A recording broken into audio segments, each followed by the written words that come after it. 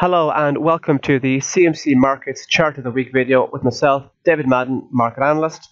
And today's date is Wednesday, the 22nd of November, and the time is just approaching 12 pm UK time. And this week's chart of the week is going to be the Hang Seng, as we call it here at CMC Markets, the Hong Kong 50. So the first thing you notice about the price action over the last couple of years, because this chart uh, on the daily chart here spans back uh, until late 2015 over the, since over the last couple of years, uh, we can see uh, since since early 2016, the market has been in a very clear and concise upward trend, a series of higher highs and higher lows, making its way up to north of 30,000. Uh, the, the Hang Seng traded north of 30,000 for the first time uh, in 10 years. So that'll give an indication of how bullish the actual market is. And if you look back here in, in February 2016, where the market traded nearly as low as 18,000, since the low of February 2016 until now, the market has gained 66%, which is obviously quite a considerable move. And for the time being, uh, we're not seeing any signs that the bullish sentiment is running out of steam. If we kind of zoom in on the daily chart, we can get a better uh, indication, and we can see even clearer how much of a kind of obvious bullish trend the market has been, kind of a series of higher highs, trading sideways through August and September, pushing onto a new high in October, and a fresh multi-year high in October, only to retrace and go on and hit another uh, multi-year high this month.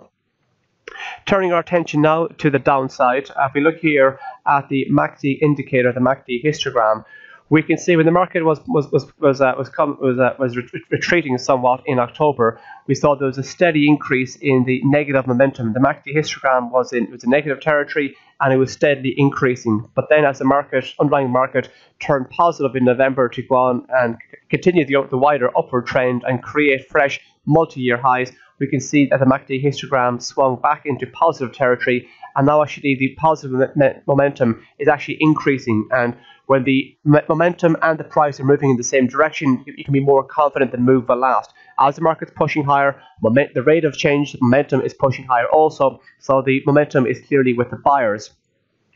Now, it is worth pointing out this candle here from yesterday, where the market traded north of 31,000.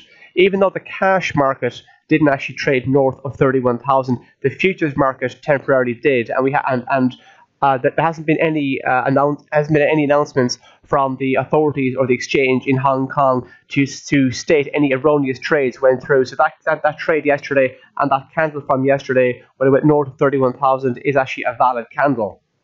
But as I said, the move was very short lived because it appears that it was a one off trade, a very high volume that spiked the futures market. Uh, currently, the Hang Seng is trading in just just north of 30,000 at 30,050 ish we appear to be gaining support in around the kind of 30,000 level or just south of it, perhaps even down to down to 29,935, the low of the day. So that area could act as support uh, before we potentially look to move higher yet again on the Hang Seng. It's been in, in a clear and concise upward trend.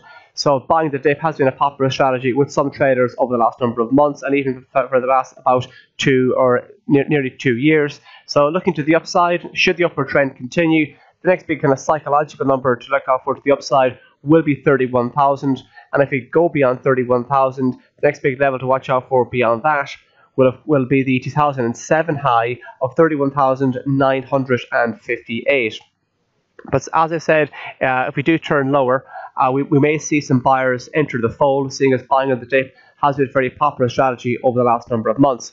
So if the market does make a decisive break south of, say, 30,000 or even 29,900, we could see the market pull back to towards this area here, the, the, the lows of, uh, of only yesterday at 29,280.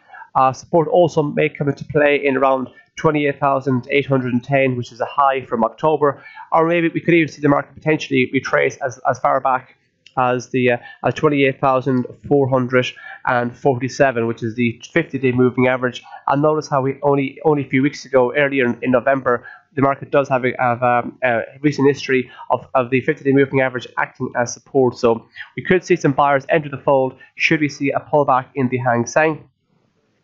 Uh, that's all from me this week. Thank you for listening, and please tune in next week.